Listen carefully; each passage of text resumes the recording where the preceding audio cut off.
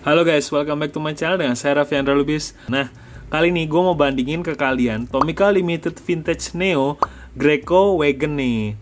Nah, ini ada dua piece. Ini Corolla fan nih beda nih. Beda model dari kedua ini. Yang putih itu Toyota Corolla Fan DX, yang merah, yang merah tuton ini Toyota Corolla Wagon G Touring 1.5. Warnanya merah tuton nih. Nah, gue mau ngasih lihat ke kalian perbedaannya di mana aja sih. Oke, kita mulai dari ini brandnya itu Tomica Limited Vintage ya guys, dua-duanya. Jadi Tomi ini karena baru Tomica Limited Vintage sih yang ngeluarin Toyota Corolla Greco ini tapi versi van dan touringnya nih. Nah, kalau di brand lain itu baru ada Great Corolla di BM Creation tapi sangat uh, kurang rapi ya untuk bagian uh, bumper dan lampunya karena dia longgar banget gitu. TLV yang jauh lebih bagus gitu. Oke, sekarang gue mau ngasih lihat ke kalian perbedaannya di mana aja sih dari kedua piece Toyota Corolla Touring ini. Kita pertama lihat dari bagian samping dulu kali ya. Nah, pertama kita lihat dari sisi sampingnya nih guys. Yang jelas kelihatan velgnya berbeda. Yang satu yang putih yang fan ini velg kaleng, yang bawah ini velg model dop gitu ya guys. Nah, terus trimnya juga beda nih. Kalau dari si kita lihat dari sisi samping, kalau di kaca paling belakangnya, kalau yang merah ini polos, kalau yang hitam ini ada strip hitamnya gitu. Nah, terus list kaca juga berbeda nih guys. Kalau yang merah ini list kacanya full silver ya guys. Gitu. Kalau yang ini bumper polos tidak ada trim listnya sama sekali.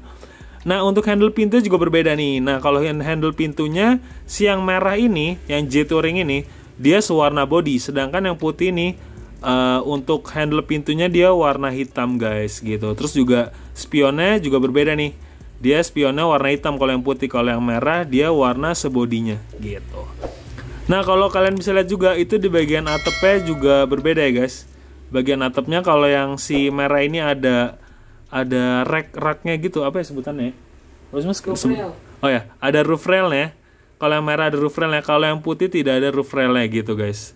Nah gue ini susah banget nih megangnya jadi gue harap berhati-hati banget ya guys. Nah sekarang gue mau ngasih ke kalian bagian belakangnya. Karena bagian belakangnya ini paling beda jauh sih dari kedua Corolla ini. Kalau yang kiri yang putih dia itu trimnya tidak ada nih. Kita lihat dari bagian mana ya? Oh dari list kaca dulu deh biar gampang deh. Nah dari list kaca si dari belakang ini yang merah itu ada list kaca silver semua lengkap. Kalau yang ini tidak ada list kacanya sama sekali. Nah terus yang ini ada stikernya kalau yang putih ada stikernya tuh uh, 16 valve EV, sedangkan yang merah tidak ada.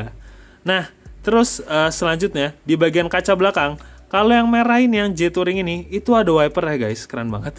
Nah, kalau yang putih tidak ada wipernya jadi polosan. Terus kalian bisa lihat garnish bagasinya juga berbeda nih. Nah, kalau yang putih dia model panjang, panjang terus ada baut kuncinya. Nah, kalau yang uh, uh, J Touring ini atau bisa dibilang sebutannya itu BZ Touring.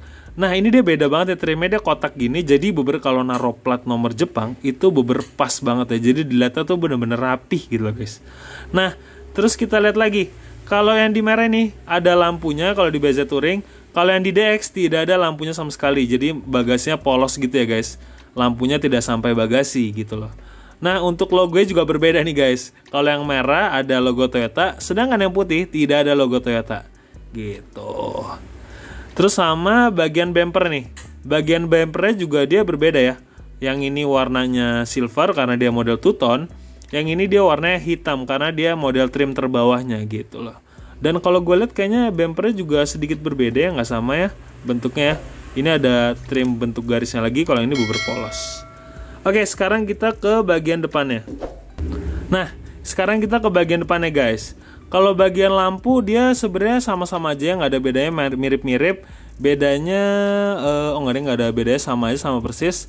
Di bagian grillnya, grillnya dia beda nih. Kalau grillnya ini ada kotaknya gitu, ada framenya dia warna merah. Kalau ini dia bener hanya garis aja. Dan dia ini ceritanya logo C-nya ya.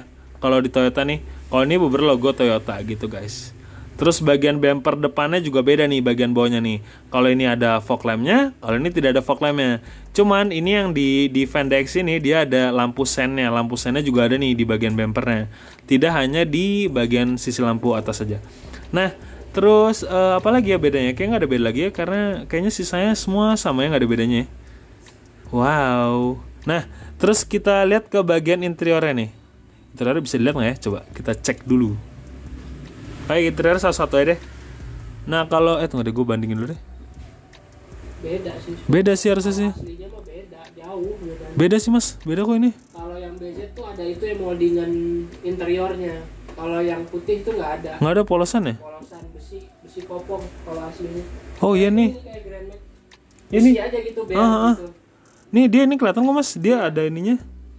kalau yang BZ ada moldingannya Bener-bener. Tuh. Ini apa ya sebutannya? Penutup penutup bagasi Molding- gitu kali? ya? molding molding, Molding bagasi ya? molding interior Molding interior ya? Ya gue lah kasih rata sesuatu aja deh. Woi, ayo dong fokus dong bang. Nah, kalau yang di Corolla Vanda X ini, dia tidak ada molding interiornya, jadi kayak beber polos aja gitu, cuman ada ya garis-garis bagian lantai dasarnya langsung. Sedangkan kalau yang di BZ Touring ini, dia ada penutupnya cover lagi guys, jadi kayak lebih rapi gitu ya dilihatnya ya. Nah, terus kalau kita lihat eh, joknya ya, joknya juga beda trim nih. Kalau di Vanda X dia modelnya garis-garis seperti ini, kalian bisa lihat garis-garis seperti ini. Nah, kalau yang di BZ Touring, dia modelnya garisnya ke samping ya, guys. Kalau yang tadi Vanda X garisnya ke bawah, kalau yang ini garisnya ke samping nih. Tuh, beda ya. Cakep ya. Tapi kalau warna sih interior sama-sama aja, nggak ada bedanya. Kalau kita lihat bagian dashboardnya, bentar, gue bandingin dulu. Kalau dashboard kayaknya sama-sama aja nih guys, nggak ada bedanya karena susah banget lihat. Kayaknya kalau dilihat sih sama-sama aja nggak ada bedanya. ya. Mungkin kalau di real life-nya baru kelihatan bedanya tuh fungsionalnya gitu. Ya, jadi seperti inilah tuh. Ini bagian atapnya kalau dilihat dari atas, bedanya ada roof rail aja ya. Kalau yang fan tuh beberapa nggak ada roof railnya. Oh iya, satu lagi ada yang ketinggalan nih.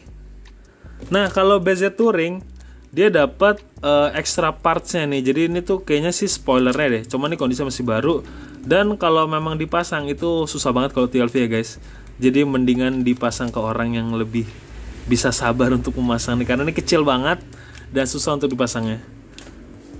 Nah ini kita nyetel dulu di Melawai Plaza ya kan Karena mobil 90s banget nih Jadi kayak keren gitu gak sih kalau di sini kan Backgroundnya Melawai Plaza Mantul Oke guys Jadi sekian dulu nih video perbandingan gue dari kedua Tomica Limited Vintage ini. Yang satu yang merah ini Toyota Corolla Wagon J Touring 1.5 Warna merah dan silver Tuto alias Tuton. Nah kalau yang satu lagi nih Toyota Corolla Van DX Atau bisa dibilang trim terendahnya Corolla Van ini. Gitu. So menurut kalian Kalian lebih suka yang mana nih guys? Antara si BZ Touring Atau si tipe trim terendah. Kalau gue jujur ya Gue lebih suka si tipe trim terendah Karena dia benar-benar tuh bentukannya Greco banget ya guys. Ciri khas Greco banget Dan belakangnya pelontos kosong gitu kan. Jadi kayak lebih cakep sih kalau menurut gue nah kalau kalian lebih suka yang mana nih? Yang J Touring kah atau yang Vanda X kalian komen ya guys. Dan menurut kalian perbedaannya banyak banget gak Oke, so thank you for watching my video. Jangan lupa subscribe, like, comment, dan share teman-teman kalian jika kalian suka video ini. So, thank you guys. See you next video. Bye.